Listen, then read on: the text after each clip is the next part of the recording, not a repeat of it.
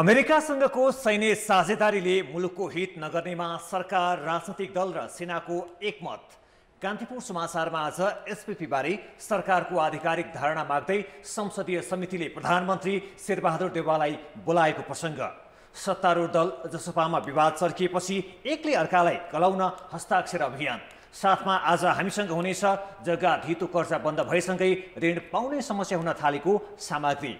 अनि फलको राजा आँपको सिजन सुरु भएसँगै मनमोहक देखिएका बगैँचा कर्मचारी अभाव देखाउँदै एघार महिनासम्म पनि त्रिभुवन विश्वविद्यालयले परीक्षाफल प्रकाशित गर्न सकेन। अन्तर्राष्ट्रियमा युरोपेली सङ्घको सदस्य बन्ने युक्रेनको यात्रा कहाँ पुग्यो? खेलकुदमा एसएससी महिला टी ट्वेन्टी च्याम्पियनसिपमा नेपालको विजय सुरुवात लगायतका समाचार हामीसँग छन्। नमस्कार अब मुख्य समाचार। एसपिपी साझेदारीका सबै कागजात एक साताभित्र बुझाउन सरकारलाई संसदीय समितिको निर्देशन। सत्ता र प्रतिपक्ष बीच जुहारी कूटनीतिज्ञ भन्छन् अमेरिकालाई पत्र लेखेरै सहभागी नहुने प्रश्न पारौँ सीमावर्ती क्षेत्रमा भारतले एकतर्फी बनाएका तटबन्धकै कारण नेपाली भूमि डुबानमा वर्षेनी ठुलो क्षति हुँदा समेत समस्या समाधान गर्न सरकार उदासीन। सेयर लगानीकर्ताले दस महिनामै गुमाए सोह्र खर्ब। बजार घट्नुको मुख्य कारण ब्याज दर वृद्धि र तरलता अभाव। लगानीकर्ताको आक्रोश राष्ट्र ब्याङ्कमाथि। युको सदस्यताका लागि युक्रेनले दिएको आवेदन युरोपेली आयोगद्वारा स्वीकृत। पूर्ण बैठकले निर्णय गर्ने रुसमाथि जित हासिल गर्न सहयोगी बन्ने किएभको भनाई। र प्रशिक्षक र खेलाडी विवादको असर एसिया कप छनौटमा देखिएको एन्फाको स्वीकारोक्ति। अल्मुताइरीको निरन्तरताको टुङ्गो एन्फा निर्वाचनपछि लाग्ने। संसदीय समितिले अमेरिकासँगको सैन्य साझेदारी कार्यक्रम एसपिपीका बारे नेपालका तर्फबाट लेखिएका सबै कागजात एक साताभित्र उपलब्ध गराउन सरकारलाई निर्देशन दिएको छ। समितिले आसन्न अमेरिका भ्रमणमा पनि त्यस खाले कुनै सहमति नगर्न प्रधानमन्त्रीलाई समेत निर्देशन दिएको छ। अन्तर्राष्ट्रिय सम्बन्ध समितिको आज बसेको बैठकले स्टेट पार्टनरसिप प्रोग्राम अर्थात् एसपिपी सम्बन्धमा अमेरिकालाई लेखेका अहिलेसम्मका सबै पत्र सरकारसँग मागेको हो। अमेरिकाको राज्य साझेदारी कार्यक्रममा सम्बन्धमा नेपाल सरकारको रक्षा मन्त्रालय परराष्ट्र मन्त्रालय र नेपाली सेनाले संयुक्त राज्य अमेरिकासँग गरेका सहमति वा पत्रचार सात दिनभित्र अन्तर्राष्ट्रिय सम्बन्ध समितिमा उपलब्ध गराउन पत्रचार गर्ने। नेपाली सेनाका प्रधान सेनापति प्रभुराम शर्माले अमेरिकासँग भूकम्पको समयमा विपद तथा मानवीय सहायताका लागि पत्र लेखिएको तर सैन्य गठबन्धनका लागि नभएको बताए।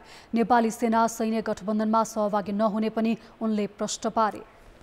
यो स्टेट पार्टनरसिप प्रोग्राम अन्तर्गतबाट दिने र सजिलो हुने भन्ने कुरा भएको हुँदाखेरि त्यो प्रोग्राम अन्तर्गतको यी मानवीय सहायताहरू नेपालमा ल्याउने लक्ष्यको साथ गरिएको हो न कि यो कुनै नेपालको परराष्ट्र नीतिको बर्खिलाफ जाने र सैनिक गठबन्धन गर्ने कुराको होइन।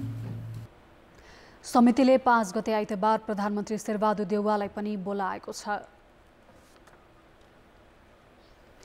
एसपिपीको विषयमा संसदमा आज पनि सत्तापक्ष र विपक्ष बीच आरोप प्रत्यारोप चलेको छ।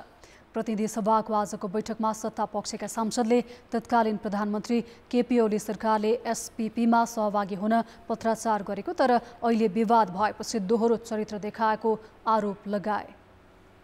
एसपिपीका विषयमा सत्तापक्षलाई च्यालेन्ज गर्ने चुनौती गर्ने काम गरियो तर एक घन्टा पश्चात नै एउटा पत्र सार्वजनिक भएको छ जो दुई हजार सत्रकै हो र प्रधानमन्त्री रक्षा मन्त्री र त्यसका साथसाथै सैनिक प्रमुखका पनि हस्ताक्षरका कुराहरू आइसकेको छ। माननीय केपी ओली दुई हजार बहत्तर असोजमा प्रधानमन्त्री बन्नुभयो। प्रधान सेनापति राजेन्द्र छेत्रीले स्टेट पार्टनरसिप प्रोग्रामबारे दुई हजार बहत्तर कार्तिक दस गते पश्चाताप गर्नु र सोही पालाको रक्षा मन्त्रीले सार्वम प्रतिनिधि सभा र गठबन्धनको नेतालाई ठाडो चुनौती दिने कुन नैतिकताले दिन्छ? कि थाहा नभएको विषय बोल्नु नै भएन। तर प्रमुख प्रतिपक्ष नेकपा एमालेका सांसदले एसपिपीमा सम्झौता गर्ने प्रक्रिया तत्कालीन प्रधानमन्त्री सुशील कोइरालाकै पालामा अघि बढेको भन्दै छानबिन गरेर पुष्टि गर्न सरकारलाई चुनौती दिए। रक्षा मन्त्रालयको तपाईँको मातहतमा छ। त्यति बेला अथोरिटी लेख्ने पत्र सुशील कोइरालाले लेखेको पत्र यहाँ ल्याउन म चुनौती दिन चाहन्छु। केपी ओलीको पत्र छ भने कि तपाईँले छोड्नु पर्यो कि मैले छोड्न तयार छु? तपाईँ जान्नुहोस् सुशील कोइरालाको पत्र भएको कुरा म जानकारी गराउन चाहन्छु। अमेरिकासँगको सैन्य साझेदारी सम्बन्धी कार्यक्रम एसपिपी राष्ट्रिय हित र भूराजनैतिक शक्ति सन्तुलनको हितमा नहुनेमा सरकार दल र सेना समेत एकमत देखिएका छन्। अब उक्त प्रक्रियालाई टुङ्ग्याउने र अमेरिकाले स्वीकारेको भनिसकेको अवस्थाबाट नेपाल कसरी फर्कने भन्ने विषय मुख्य हो। नेपालले नै प्रस्ताव गरी पहिलो पत्र पठाएको र अमेरिकी राजदूतावासले स्वीकृत गरेको वक्तव्यलाई आधार मान्दा नेपालमाथि कुनै किसिमको दायित्व आउने त होइन भन्ने प्रश्न पनि उठेको छ। अबको प्रक्रिया के छ त? अन्तर्राष्ट्रिय सम्बन्ध समितिको शुक्रबारको बैठकमा परराष्ट्र मन्त्री नारायण खड्काले अमेरिकासँगको स्टेट पार्टनरसिप प्रोग्राम एसपिपी राष्ट्रहित विपरीत रहेको भन्दै यसले उत्तर र दक्षिणका छिमेकी मुलुकको समेत हित नगर्ने बताए। दुई छिमेकी मुलुक बीच अविश्वास बढाउने र मुलुककै स्वाधीनतामा असर गर्ने एसपिपी सम्बन्धमा हालसम्मका सबै प्रक्रिया रोकिने र अब अघि नबढ्ने उनले प्रश्न पारे। यसमा हामीले बारम्बार कसको पालामा के के भयो भनेर हामी सबै कुनै न एक या अन्य तरिकाबाट फेरि हामीले पनि ठाउँ ठाउँमा आफ्नो ममा भन्दै जिम्मेवारी लिनुपर्ने हुन्छ। अगाडि नबढाउने भनिसकेपछि यो यो च्याप्टर एन्ड भइसकेको छ। तर परराष्ट्र मन्त्रीले यो विषय कोट्याउन आवश्यक नभएको भने जस्तो अवस्था अझै आइसकेको छैन। त्यसो त यसले नेपालमाथि कुनै दायित्व सृजना गर्छ कि गर्दैन भन्ने प्रश्न पनि छ। आबद्ध भयो। अब नेपालमा चाहिँ अमेरिकन सैनिकहरू तुरन्त आएर सहयोगको बारेमा आउँछ भनेर आउने बाटो खोज्दैन। त्यसको लागि भिन्दै सम्झौता हुनैपर्छ यसले अधिकार सिर्जना गरेको छैन। हामीले केवल सहयोगको लागि चिठी लेखेका मात्र हौँ। र यो से चिठी लेख्दाखेरि कहीँ सैनिक आबद्धताको बारेमा कुनै शब्द नबोलेको हुनाले त्यो चाहिँ अन्तर्राष्ट्रिय कानुन अन्तर्राष्ट्रिय परिपाटीले त्यस्तो छुट दिँदैन। त्यो त हुँदै हुँदैन। त्यो त मान्ने कुरा होइन। त्यो आउनको लागि पनि हामीसित स्वीकृति लिनैपर्छ। राजनीतिक तहमा सबै दल एसपिपीको विपक्षमा उभिएका छन्। कुनै पनि देशको दबावलाई स्वीकार गर्न नसकिने भनिरहँदा विदेशी शक्तिले कूटनीतिक प्रलोभन देखाउने तर्फ भने सचेत हुनुपर्ने देखिन्छ। कहिलेकाहीँ दबावको नीति हुँदैन। मिठो पाराले फसाउने नीति हुन्छ। यो दुईटी कुरा ख्याल गर्नुपर्छ। कुटनीतिका धेरै पक्षहरू हुन्छन्। कहिले दबाब दिएर कहिले फकाएर अनि थाहै नदिइकन निद्रा निद्रा निद्राको बेलामा विस्की खुवाएर ख्याल गर्नु होला हँ, यो सबै हुन भएको हुनाले हुस विस्की खाउ नसाको बेलामा कागजमा सही गरिएला। ख्याल गर्नु होला नेपालको अस्थिर राजनीति कमजोर कूटनीति र अपरिपक्व परराष्ट्र नीतिका कारण शक्ति राष्ट्रले आफू अनुकूल फाइदा लिइरहेको विगतले देखाउँछ। त्यसैले परराष्ट्र मन्त्रालयले कूटनीतिक पत्र लेखेरै अमेरिकालाई एसपिपीमा सहभागी नहुने प्रश्न नपारे। भविष्यमा विवाद र दबाव दोहोरिन सक्ने कूटनीतिज्ञको बुझाइ छ। यसमा हामी छैनौँ भन्ने आशय झल्कने प्रष्टता हुने किसिमबाट हामीले अब चिठी लेख्न सकेनौँ भने पछि गएर फेरि बल्दिन्छ हेर्नुहोस् किनभने नेपालमा त अस्थिरता छ फेरि अब चुनाव हुन्छ कस्तो सरकार बन्छ को मन्त्री प्रधानमन्त्री हुन्छ अनि अनुकूलको बेलामा शक्ति राष्ट्रहरूले चाहिँ फेरि आफ्नो अनुकूलको चाहिँ स्वार्थ पुरा गर्ने प्रयास फेरि गर्न सक्छन्। त्यसबाट हामी चाहिँ अलिकति परिपक्वता र सजगता देखाउन सक्नुपर्छ। अमेरिकासँग अघि बढाएको भनिएको सैन्य साझेदारी अर्थात् एसपिपी कार्यक्रमबारे अहिलेसम्म भएका सबै प्रक्रिया सरकारले यथार्थ सार्वजनिक गर्नुपर्छ अनि राष्ट्रिय हित विपरीत हुने यस्ता कुनै पनि सम्झौता वा गतिविधि अब नदोहोरिने बाचासहित राष्ट्रिय शक्ति एक ठाउँमा उभिन जरुरी छ। कान्तिपुर समाचारका लागि क्यामेरामा श्याम श्रेष्ठका साथ सुबिन्द्र श्रेष्ठ काठमाडौँ।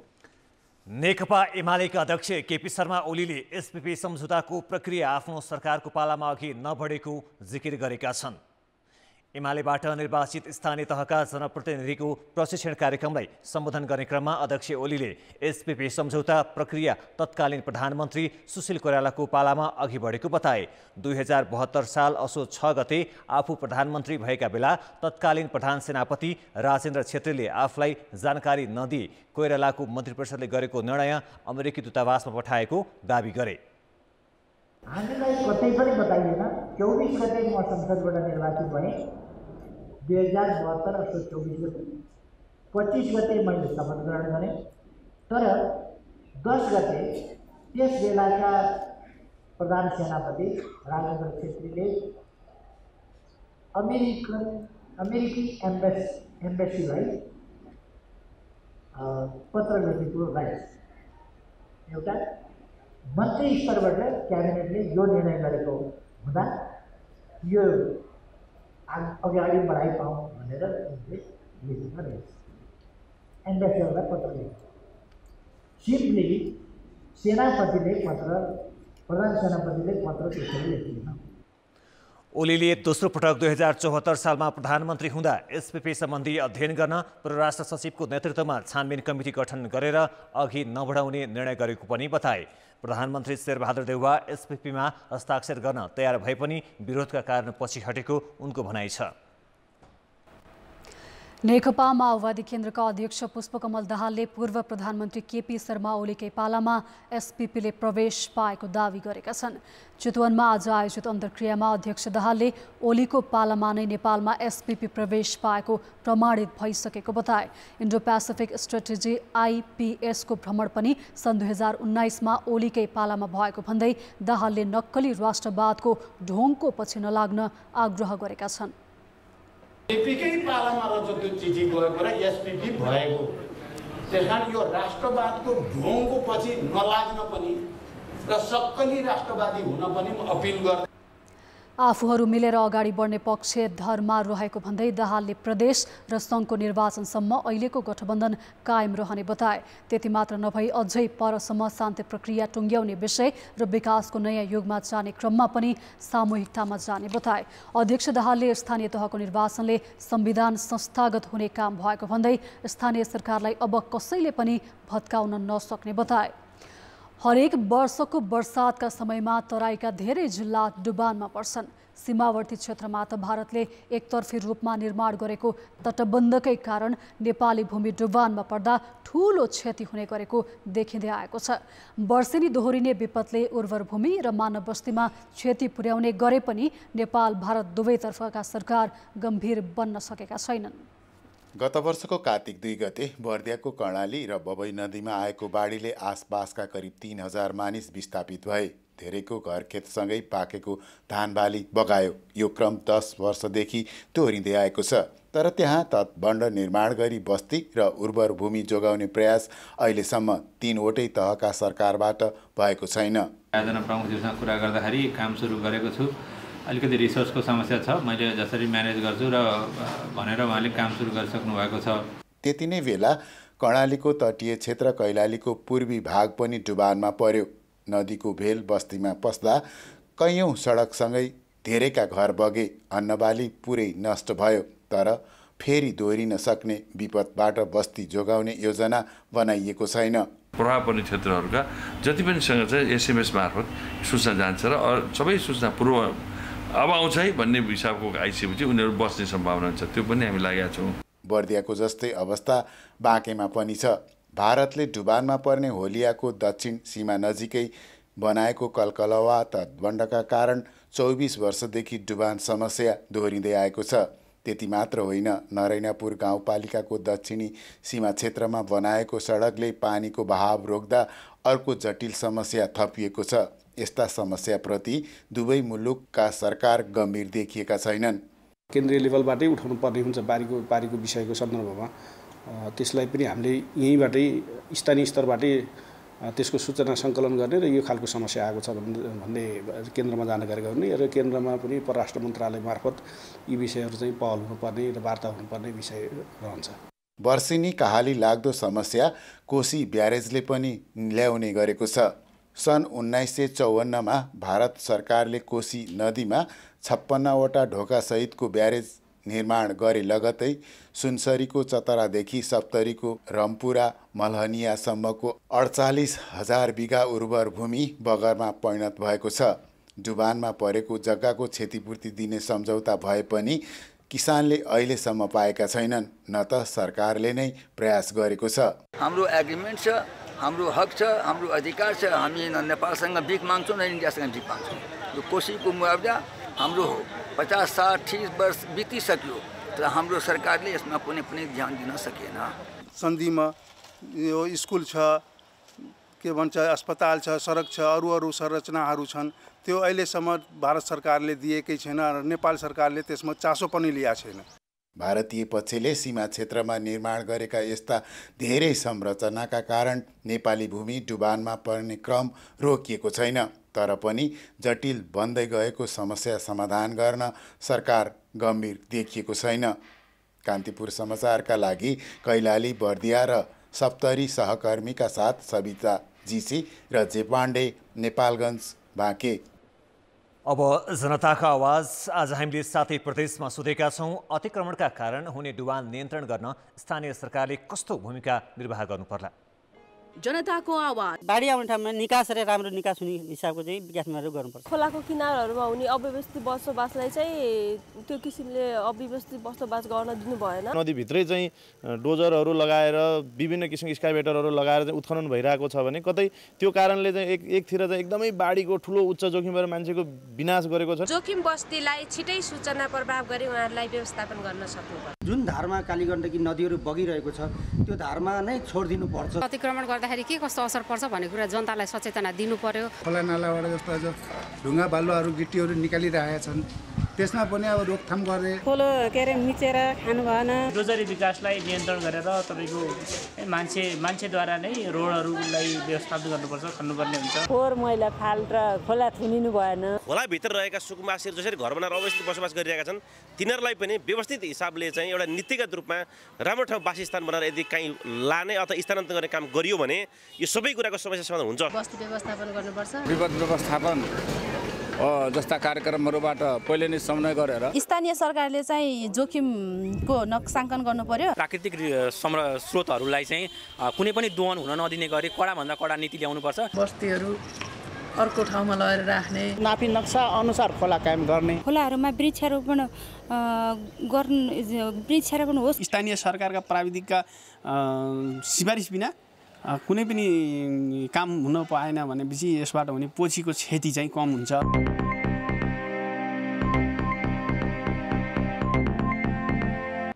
सत्तारूढ जनता समाजवादी पार्टी जसपामा अध्यक्ष उपेन्द्र यादव विरुद्ध हस्ताक्षर अभियान चलिरहेको छ। पार्टीभित्रको विवाद चर्केपछि असार एक र दुई गतिको लागि तय भएको विधान अधिवेशन समेत हुन सकेन। जसपामा केन्द्रीय कार्यकारिणी अध्यक्ष उपेन्द्र यादव र सङ्घीय परिषद अध्यक्ष बाबुराम भट्टराई पक्षबीच विवाद चर्कँदै गएको छ। स्थानीय तहको निर्वाचनमा अध्यक्ष यादवले एकलौटी गरेको भन्दै भट्टराई पक्षले जनाएको असन्तुष्टि अहिले हस्ताक्षर अभियानसम्म पुगेको हो। भट्टराई सहित वरिष्ठ नेता अशोक राई लगायतले यादवलाई बैठक बोलाउन बाध्य पार्ने रणनीति अप्नाएका छन्। अध्यक्षले चासो नदेखाए जुनसुकै परिस्थिति सामना गर्नुपर्ने चेतावनी यो समूहको छ। समस्या छ भने बैठकबाट नै समाधान गर्ने हो होइन? त्यसको निकास निकाल्नुपर्छ छलफल गरेर हो। आखिर पार्टी स्थानीय चुनावबाट आयो फेरि चुनावमा हुन लागिरहेको अवस्थामा छलफल नीति योजना त बनाउनुपर्छ कार्यक्रम त बनाउनुपर्छ।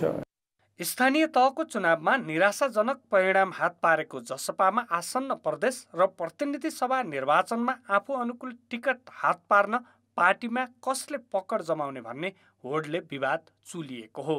विवादकै कारण केन्द्रीय कार्यकारिणी समिति र संसदीय दलको पनि बैठक नबसेको महिनौ भयो।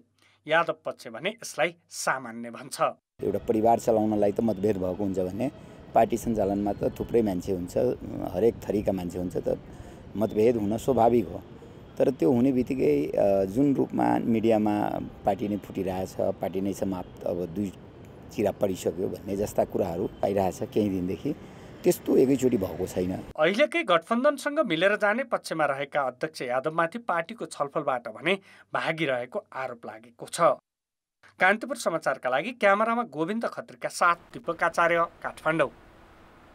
सामान्यत विश्वविद्यालयहरूले कुनै पनि विषयको परीक्षा लिएको तिन महिनाभित्र नतिजा प्रकाशन गर्ने चलन छ। तर मुलुकको सबैभन्दा पुरानो र ठुलो त्रिभुवन विश्वविद्यालयले स्नातक तहको परीक्षा लिएको एघार महिना पुग्दा समेत नतिजा प्रकाशन गरेको छैन। जनशक्तिको अभाव देखाउँदै परीक्षाको नतिजा प्रकाशनमा ढिलाइ भएको दावी विश्वविद्यालयले गरे पनि विद्यार्थीले भने खेलवाड गरेको आरोप लगाएका छन्। त्रिभुवन विश्वविद्यालयले मानविकी विज्ञान शिक्षा र व्यवस्थापन सङ्काय स्नातक तहको परीक्षा लिएको एघार महिना पुग्यो। दुई लाख पचास हजार विद्यार्थीले दिएको परीक्षाको नतिजा प्रकाशनका लागि गोप्य शाखामा काम गर्ने दक्ष जनशक्ति भन्ने तेइसजनाको छ। जुन केही वर्ष अघिसम्म भने छप्पन्नजना थियो। परीक्षा नियन्त्रण कार्यालयमा दुई सय चौबिसजनाको दरबन्दी रहेकोमा अहिले एक सय छत्तिसजना मात्र कार्यरत छन्। परीक्षा सम्बन्धी काम गर्ने साठी प्रतिशत दक्ष जनशक्ति अभाव भएपछि सातवटा गोप्य शाखालाई चारवटामा सीमित गरिएको छ। संवेदनशील ठाउँमा जनशक्ति व्यवस्थापनका लागि विश्वविद्यालयसँग पटक पटक आग्रह गर्दा समेत उपलब्ध नभएपछि नतिजा प्रकाशनमा ढिलाइ भएको परीक्षा नियन्त्रण कार्यालयले स्वीकारेको छ। हाम्रो के भने रिजल्ट गर्ने क्रम दोहोरियो डबल भयो। अब पढाइ कम विद्यार्थी चाहिँ त्यही सङ्ख्या भयो। र यही क्रममा चाहिँ हाम्रो के भने कर्मचारी सेवानिवृत्त हुने र के कोभिडमा दुई चारजनाको ज्यानै गयो। त्यसले गर्दाखेरि हाम्रो के भने डबल परीक्षा र नतिजाको टाइम एउटै टिमको कर्मचारी। उसले एउटा नसकिकन अर्कोमा जान नपाउने प्रावधान किनभने मिसिने डर अरू त्रुटि हुन्छ भन्ने डरले नगरे हुनाले कर्मचारी आधीभन्दा कम भइसकेका छ। र विद्यार्थीको लोड उति नै भएको हुनाले क्रमशः हामी गर्दै गइरहेछौँ। विद्यार्थीले भने परीक्षाको नतिजा एक वर्षसम्म ढिलाइ हुनु आफ्नो भविष्यमाथि खेलवाड भएको आरोप लगाएका छन्। शैक्षिक क्षेत्र चाहिँ डामाडोल भइरहेको अवस्थामा चाहिँ उनीहरू पनि अपग्रेड हुँदा हुँदै इयरहरू लस भइरहेको छ। उनीहरूलाई त अब समयमै रिजल्ट प्रकाशित भइसक्यो सेकेन्ड इयरमा जाने थर्ड इयरमा जाने फोर्थ इयरमा गर्दै गर्दै अब मास्टर्समा जोइन हुने बेलासम्म ब्याचलरमा अड्किँदा त उनीहरूको धेरै कुराहरू त लस हुन्छ। ब्याचलर गरेर इन्सपेक्टर भन्ने अधिकृत भन्ने त्यो सपनाहरू हुन्छ। त्यो उमेर हकबन्दीले गर्दा ठ्याक्क काटिदिन्छ क्या त्यो। त्यो तयारी गर्ने त्यो जाहिर खाने अवसरै मिल्दैन। यो चाहिँ खासमा टियुको लथालिङ्ग हो। यसलाई चाहिँ छिटो चाहिँ परीक्षा चाहिँ छिटो छिटो गरेर रिजल्ट छिटो प्रकाशन गर्नुपर्छ भन्ने। शिक्षक तथा कर्मचारीको पदपूर्ति गर्ने निकाय त्रिवी सेवा आयोगले भने शिक्षक तथा विद्यार्थीको आन्दोलन र अदालतमा विचाराधीन मुद्दाकै कारण पदपूर्ति गर्न नसकेको भन्दै पन्छिने गरेको छ। अब यो विश्वविद्यालयमा विभिन्न समूहहरूले कहिले बन्द गर्ने कहिले हडताल गर्ने कहिले के गर्ने होइन हाम्रोमा पनि जनशक्ति कम छ त्यो पनि एउटा समस्या हो। त्यसले गर्दाखेरि हामीले समयमा ठ्याक्कै हामीले चाहिँ त्यो निकाल्न सकेका छैनौँ। अर्कोतर्फ भनेको यो अदालतले पनि कतिपय विषयहरूमा चाहिँ विज्ञापन अहिले नगर्नु भन्ने खालका कुराहरू हामीसँग समय समय यस्तो आइरहन्छन्। त्यसले गर्दाखेरि हामीले ठ्याक्कै समयमा हामीले गर्न सक्दैनौँ। जनशक्तिको अभाव देखाएर नतिजा प्रकाशनमा ढिलाइ गर्ने अनि विद्यार्थीको जीवनमाथि खेलवाड गर्नु हुँदैन। यथाशीघ्र जनशक्ति व्यवस्थापन गरेर भए पनि विद्यार्थीको परीक्षाको नतिजा छिटो प्रकाशन गर्नेतर्फ लाग्न आवश्यक छ। कान्तिपुर समाचारका लागि क्यामेरामा मुरारी घिमिरे र रूप कोइरालाका साथ नारायण किलम्बु काठमाडौँ ब्याज दरमा वृद्धि ब्याङ्किङ क्षेत्रमा तरलता अभाव महँगी लगायतका कारणले पछिल्लो नौ महिनामा मात्र नेप्से बाह्र सय सत्ताइस अङ्कले घटेपछि लगानीकर्ताले सोह्र खर्ब सत्ताइस अर्ब सम्पत्ति गुमाएका छन्। तर लगानीकर्ता भने नियामक निकायका कारण बजारले उल्टो गति लिएको भन्दै उन्नाइसवटा माग राखेर आन्दोलनमा उत्रिएका छन्। उरालो लागेको सेयर बजारको मारमा परेका लगानीकर्ता अहिले नियामक निकाय धितोपत्र बोर्डको ढोकामा आमरण अनसन बसिरहेका छन्। साढे तिन वर्ष अघि पनि नेपाल स्टक एक्सचेन्ज अघि यसरी नै लगानीकर्ता धरना तथा अनसनमा बसेका थिए। त्यसपछि सरकारले पुँजी बजार सुधारका लागि समिति नै गठन गरेर अध्ययन गरेको थियो। समितिले दिएका सुझाव कार्यान्वयन नभएको लगानीकर्ताको गुनासो छ। हुन पनि दस महिना अघि भदौ दुईमा इतिहासकै उच्च बिन्दु एकतिस सय अन्ठानब्बे अङ्क पुगेको सेयर अहिले उन्नाइस सयको आसपासमा छ। लगानीकर्ताहरू बजार घट्नुको दोष राष्ट्र ब्याङ्कलाई लगाउँछन्। सबै बजारले पोजिटिभ काम गरेकोले बत्तिस सय तपाईँको इन्डेक्स पुग्यो बाइस अर्बसम्मको कारोबार भयो। लगानीकर्ताहरूको मनोबल बुलिस थियो। होइन? र एकदम उमङ्ग उत्साह थियो। तर यो कौनवटा कम्पनीको लिस्टले गर्दा अलिकति अलिकति त्यसमा कमी आयो। त्यसपछि त्यसको लगत्तै तपाईँको राष्ट्र ब्याङ्कले खास गरिकन राष्ट्र ब्याङ्कले जुन मोन्ट्री पोलिसी लिएर आयो त्यसमा सिसिडी रेसियोलाई सिडी रेसियोमा झारिदियो। त्यो झार्ने बित्तिकै बजारमा लिक्विडिटी खत्तम भयो। विश्व बजारमै महँगी बढ्दा बैङ्कको ब्याज दर पनि उकालो लागेको छ। त्यसमाथि नियामकीय निकायले सेयर कर्जामा गरेको कडाइले ठुला लगानीकर्ता सेयर बेच्न बाध्य हुँदा साना लगानीकर्तामा मनोवैज्ञानिक असर परेको छ। जब यो बुल मार्केट आयो मैले ब्याङ्कबाट लोन लिएर पैसाहरू धेरै लगाएँ। तर अहिले के छ भने सिक्सटी पर्सेन्ट लस भएर फोर्टी पर्सेन्टमा बाँच्छु र ब्याङ्कले प्रेसर दिन्छ मार्जिन लोनको लागि दिन्छ। र ब्याङ्कमा जब पैसा हुँदाखेरि घरमा आएर पैसा दिन्थ्यो। अहिले चाहिँ ब्याज त्यो बेला आठ पर्सेन्ट थियो अहिले चाहिँ चौध पर्सेन्ट गरिदियो। हामीले बेच्नुभन्दा नि बैङ्कले बेचिदिएको छ। हाम्रो जति पनि सेयरहरू बैङ्कमा धितो राखेको थियौँ। अहिले अब मार्केट चाहिँ यो राज्यको नीति निर्माण चाहिँ राम्रो नहुनाले उनीहरूको चाहिँ कस्तो भने चेन्ज भइरहेको छ कि? उनीहरूको यो मौद्रिक नीतिहरू चाहिँ हरेक मौद्रिक नीतिमा चाहिँ यो सेयरको चाहिँ जहिले पनि चेन्ज भइरहेको छ कि स्थिर नै छैन कि? हाम्रो माग भनेको स्थिर होस् भन्नेमा हो। राष्ट्र ब्याङ्कले मौद्रिक नीति मार्फत एक व्यक्तिले चार करोड र समग्र वित्तीय प्रणालीबाट बाह्र करोडभन्दा बढी सेयर कर्जा लिन नपाउने व्यवस्था गरेपछि लगानीकर्ता दबावमा परेका छन्। नेप्से घटेसँगै लगानीकर्ताले धितो राखेको सेयरको मूल्य पनि घटेको छ त्यही कारण लगानीकर्ता सेयर बेच्न बाध्य छन्। सबैजसो देशमा ब्याङ्कको ब्याज दर बढेको छ र विश्वको जस्तो New York stock exchange Bombay stock एक्सचेन्जमा पनि अहिले चाहिँ बजारको मार्केट क्रास भएको अवस्था छ। बिटकोइन जस्ता नयाँ आएको इन्स्ट्रुमेन्टहरू पनि एकदमै फिफ्टी पर्सेन्टभन्दा तल चाहिँ विदिन विक चाहिँ घ घटेको अवस्था छ होइन? हिजो मात्रै लगभग सोह्र सय जतिको भन्दा नि बढी इन्डेक्स चाहिँ बम्बे स्टक एक्सचेन्जमा घटेको देखेको छ। त्यसको असर पनि नेपाललाई परेको छ पहिलो कुरा है? साथसाथै के छ भने नेपालको ब्याङ्कको पनि ब्याज दर अत्याधिक बढेको। ब्याज दर बढ्नु छ त्यसको चाहिँ नेगेटिभ इम्प्याक्ट चाहिँ स्टक एक्सचेन्जमा पर्छ।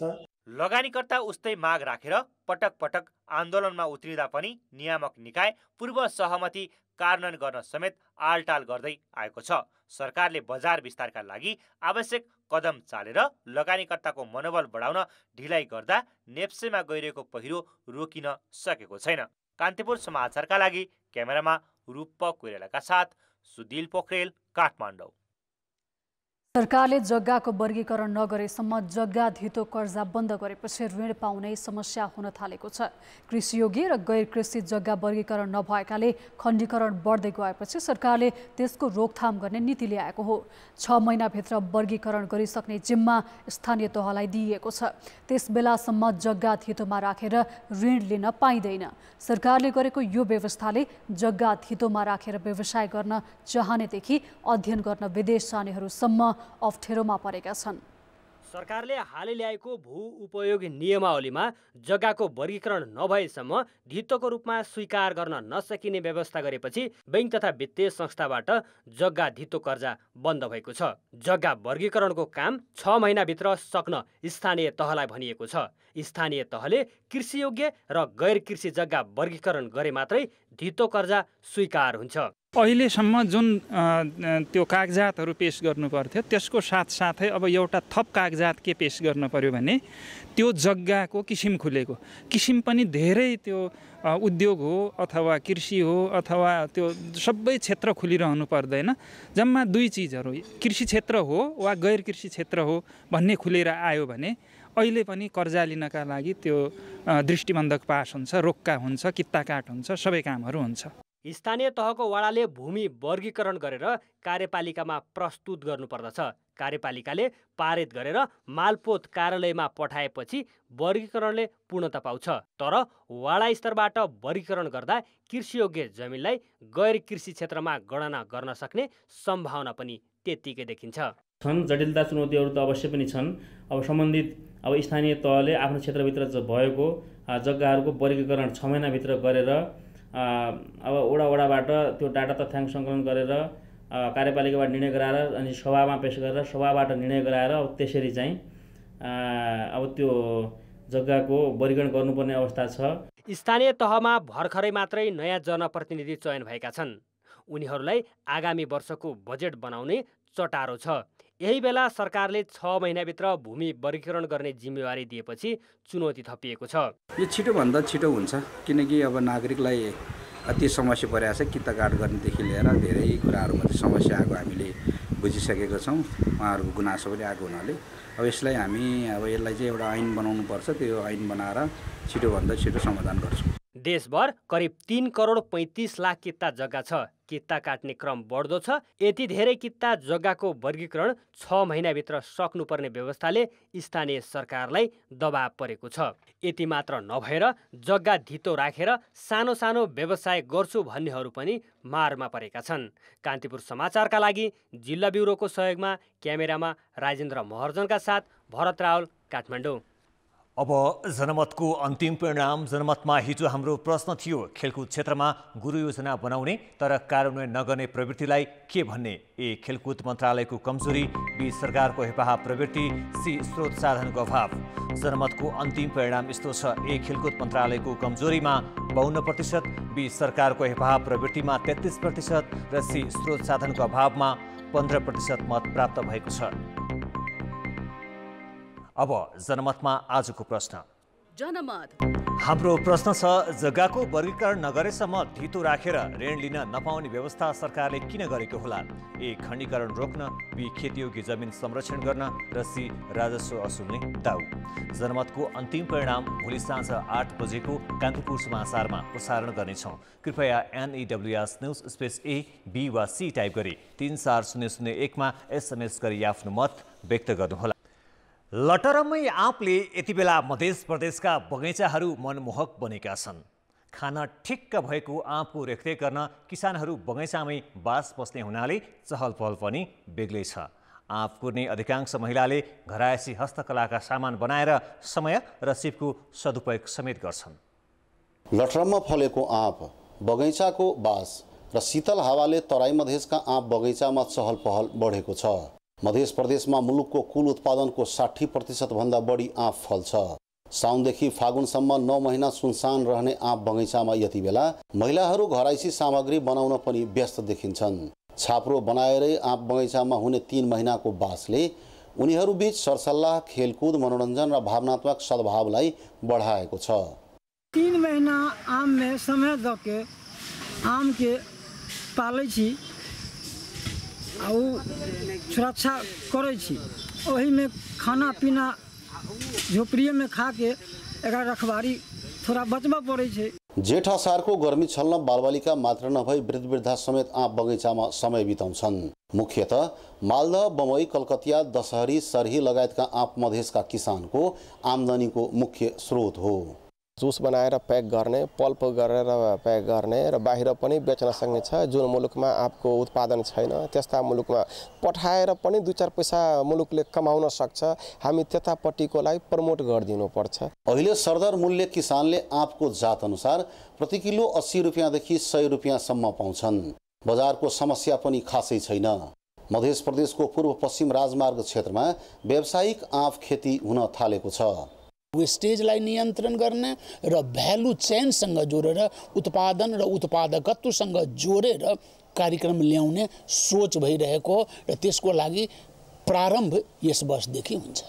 फुल लागेदेखि नै मधुवा लगायतका विभिन्न किराको प्रकोपले आँप उत्पादन भने घट्दो छ।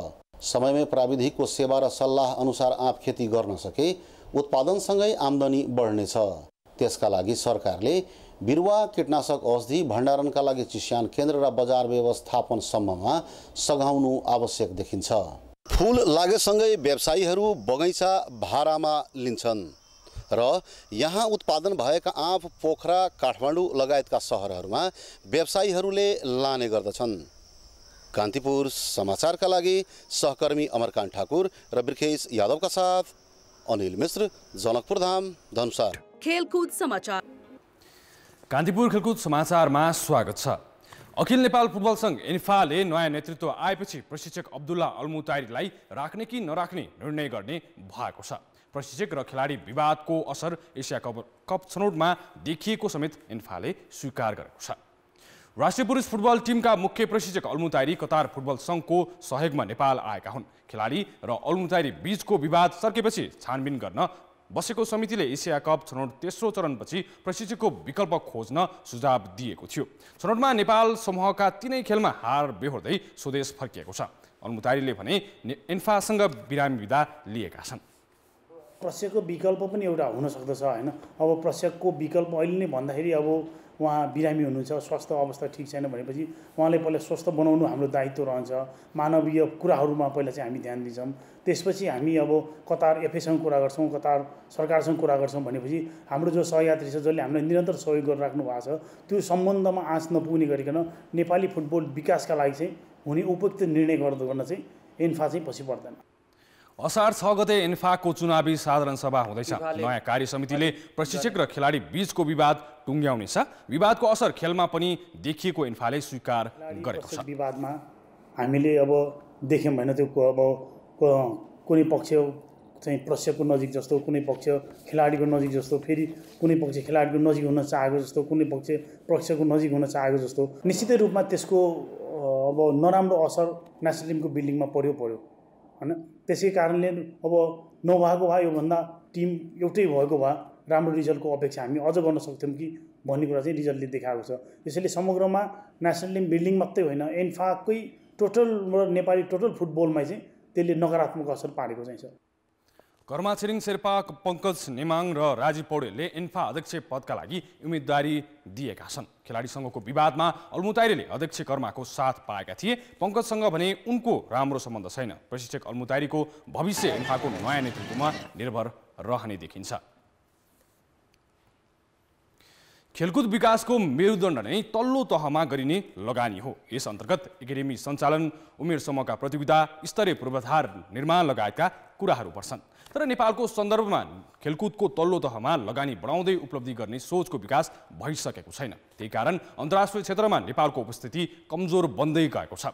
तर टेनिसले भने सानो उमेरका खेलाडीमा सक्ने जति लगानी गरेको छ र त्यही अनुसार खेलाडीमा खेलाडीको प्रदर्शनमा पनि सुधार हुँदै गएको देखिन्छ। ललितपुरको सातो बाटो स्थित नेपाल ओलम्पिक कमिटीसँगै जोडिएको छ टेनिस कोर्ट। यही टेनिस कोर्टमा नेपाल टेनिस सङ्घले एसिया अन्डर टुवेल्भ टेनिस प्रतियोगिता गरियो। यो एसियाली स्तरको प्रतिस्पर्धाका लागि छनौट खेल थियो। नेपालले उमेर समूहको यो प्रतियोगिता गरेको तेस्रो पटक हो। नेपालबाट पुरुष तिन र महिला तिन गरी छ खेलाडीले भाग लिएका थिए। उनीहरू फाइनल चरणका लागि छनौट नभए पनि अन्तर्राष्ट्रिय खेलको अनुभव भने बटुल्ने अवसर पाए। अस्ति अस्ति हामीले दुईवटा म्याच हार्यो त्यही पनि अहिले चाहिँ खुसी नै छौँ। नयाँ एक्सपिरियन्स भयो अब बाहिरको प्लेयरहरूसित खेलेर। मलाई एकदमै एक्साइटेड भइरहेछ। एकदमै यो ठुलो एकदमै ठुलो अपर्च्युनिटी हो आफ्नै त्यसमा खेल्नलाई। पाँच दिनसम्म भएको प्रतियोगितामा दक्षिण एसियाका सबै राष्ट्रले भाग लिएका थिए। घरेलु मैदानमा अन्तर्राष्ट्रिय प्रतिस्पर्धा हुनु खेलाडी मात्र होइन प्रशिक्षक र रेफ्रीलाई पनि प्रतिभा देखाउने अवसर मिल्छ। हाम्रो देशमा हामीले होस्ट गर्न पाएको यो त एकदमै ठुलो कुरा हो हाम्रो लागि होइन? प्लस यहाँको प्लेयरलाई मात्र एक्सपोजर होइन कि? यो रेफ्रीहरूको लागि पनि एक्सपोजर प्यारेन्ट्सहरूको लागि पनि एक्सपोजर होइन? खेलाडीहरूको लागि एक्सपोजर त हुने नै भयो। आफ्नै कन्ट्रीमा खेलेपछि अर्कै आउँछ अर्कै मजा फिल आउँछ। अरू कन्ट्रीमा गएपछि आत्तिने त्यस्तो हुन्छ त्यो आफ्नो कन्ट्रीमा आत्तिने हुन्न। एकदमै एक्साइटिङ हुन्छ अरू अरू देशसँग खेल्ने बेला किनकि अरूहरू देशसँग म कभि कहिले पनि खेलेको छैन। अनि अरूहरूको कस्तो गेम छ भनेर थाहा पाउन अलि मजा आउँछ त्यसो त तेह्रौँ दक्षिण एसियाली खेलकुदपछि टेनिस कोर्टको स्तर उन्नति भएको छ। हाल चालिसजना उमेर समूहका खेलाडी नियमित प्रशिक्षणमा छन्। अन्तर्राष्ट्रिय टेनिस महासङ्घ र अन्य देशका खेलाडीले पनि नेपालको मौसम र कोडको प्रशंसा गरेका छन् Nepal Tennis Association is responsible for development in their country and as uh, on behalf of ITF we support them. We support them through what we call a junior tennis initiative which is uh, one of our major programs that we have. But hopefully as I said I think the, the level has increased um, but we still have some way to go. The weather is also good. It's not too hot and it's not too cold either. But it's a little bit high altitude and I tend to run out of breath faster than I do back in Maldives or India. The atmosphere is perfect and um, the weather is very good and um, so the courts are also very nice and I like to play over here. नेपालमा tennis धेरै पहिलादेखि नै खेल्न थालिएको भए पनि प्रतियोगिता हुन थालेको भने पछि मात्रै हो। आइटिएफ प्रशिक्षणमा चालिस खेलाडी सहभागी छन्। त्यसैले अन्य खेलको तुलनामा टेनिसको ग्रासरुट स्तर राम्रो रहेको छ। टेनिसमा चाहिँ यत्रो सानो उमेरदेखि नै यसमा चाहिँ पार्टिसिपेसन छ बच्चाहरूको। बच्चाहरू खेलिरहेछन् चार वर्ष पाँच वर्षदेखि ऱ्याकेट लिएर कोर्टमा छिरिरहेको हुन्छ बच्चाहरू। अब सबै खेलमा मेरो विचारमा यसरी चाहिँ सानो ग्रासरुटदेखि नै सानै बच्चाहरूलाई नै खेलाउन सकियो भने त्यो धेरै नै फाइदाजनक हुन्छ। टेनिस महँगो खेल भएकाले अझै पनि आम मानिसको आकर्षण कम छ।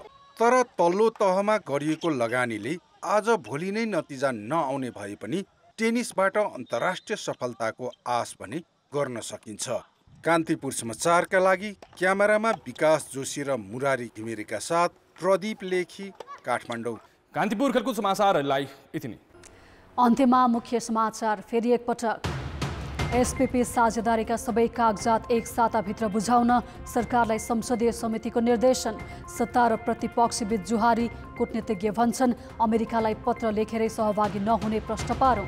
सीमावर्ती क्षेत्रमा भारतले एकतर्फी बनाएका तटबन्धकै कारण नेपाली भूमि डुबानमा वर्षेनी ठुलो क्षति हुँदा समेत समस्या समाधान गर्न सरकार उदासीन। सेयर लगानीकर्ताले दस महिनामै गुमाए सोह्र खर्ब बजार घट्नुको मुख्य कारण ब्याज दर वृद्धि र तरलता अभाव लगानीकर्ताको आक्रोश राष्ट्र ब्याङ्कमाथि। युको सदस्यताका लागि युक्रेनले दिएको आवेदन युरोपेली आयोगद्वारा स्वीकृत पूर्ण बैठकले निर्णय गर्ने रुसमाथि जित हासिल गर्न सहयोगी बन्ने किएभको भनाई। र प्रशिक्षक र खेलाडी विवादको असर एसिया कप छनौटमा देखिएको एन्फाको स्वीकारोक्ति अल्मुताइरीको निरन्तरताको टुङ्गो एन्फा निर्वाचनपछि लाग्ने।